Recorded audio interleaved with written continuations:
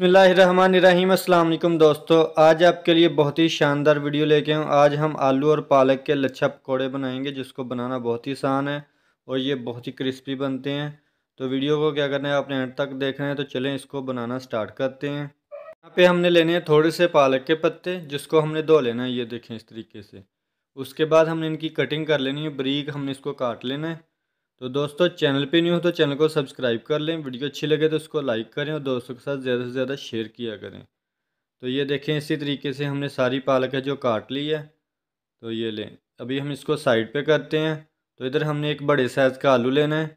तो ये देखिए इस तरीके से हमने इसका छिलका उतार लेना है। छिलका उतार लेने के बाद हमने इसको ग्रेट कर लेना है। तो हमारे पास होना चाहिए एक ग्रेटर। तो इसकी जो ये देखें मोटे वाली साइड है ना, इस पर हमने इसको ग्रेड कर लेना है इस तरीके से। तो ये ले जी, हमने इस तरीके से इसको ग्रेड कर लेना है। ग्रेड कर लेने के बाद हमने इसको है जो पानी में डाल लेना है। तो ये लें जी, ये हमने इसको पानी में डाल के अच्छे से वाश कर लेना है। वाश कर लेने के बाद फिर हम इसको है जो एक बॉल में डाल लेंगे। तो इधर एक बॉल में हमने है जो पालक काटी थी, पहले वो ऐड करेंगे, फिर हम इसमें आलू ऐड कर देंगे। तो ये लें जी ये हमने इसमें ऐड कर देना है। तो इसमें एक प्याली हमने ऐड कर देनी है प्याज की और थोड़ी सी इसमें हरी मिर्चें ऐड कर देंगे और थोड़ा सा हमने इसमें पुदीना ऐड कर देना है। एक टीस्पून इसमें ऐड करेंगे लाल मिर्ची का पाउडर और एक टीस्पून नमक का और हाफ़ टी स्पून हम इसमें ऐड करेंगे हल्दी का और एक टीस्पून खुश्क धनिया का पाउडर और हाफ़ टी स्पून हम इसमें ऐड करेंगे अजवैन। अजवैन को हाथों पे आप इन्हें इस तरह से मसल के इसमें डालना है। और एक चम्मच हमने खुश्क धनिया लेना है, साबत। इसको भी हमने, ये देखें, हाथों में मसल के इसमें ऐड कर देना है।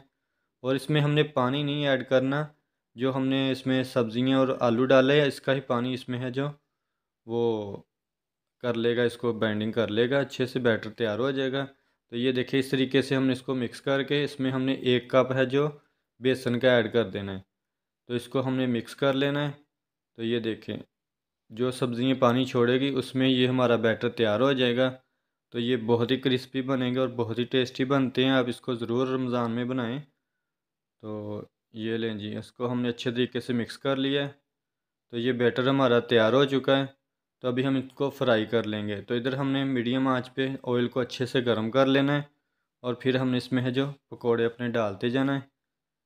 तो इसको हमने एक से दो मिनट फ्राई कर लेने के बाद इसकी साइड चेंज कर लेनी है। और इधर से भी हमने इनको एक गोल्डन कलर आने तक फ्राई कर लेना है।